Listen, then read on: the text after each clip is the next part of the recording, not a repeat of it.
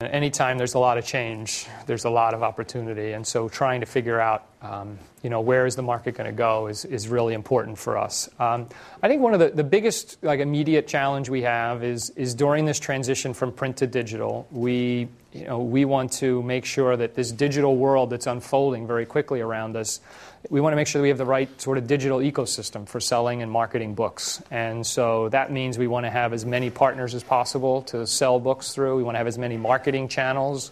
Um, and we want to have, be able to offer to consumers the greatest possible choice in formats and price um, and in, in content that we can. So if you go back three, four years ago, there was really only one major ebook player, for example, and now we have four, and I think we'll have six, um, you know, as time goes on. I, as I say, we'll have, you know, Apple came into the business, and um, Google is finally organizing around their MyPlay platform. There, There, there are going to be, I think now, you know, four, five, or six major distribution channels and partners for us in the ebook world. So building that making sure we have the right ecosystem for the future is one of the top top issues.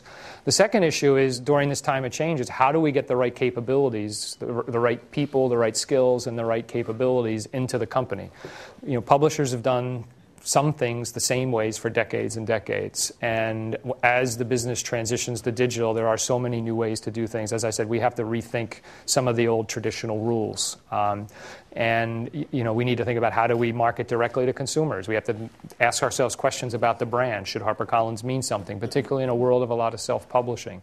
Um, so trying to get the right people involved in those decisions, trying to challenge a very big organization of more than 3,000 people around the world to wrestle with these issues head on and to kind of anticipate where is the market going to be. There are the big, big challenges that we have.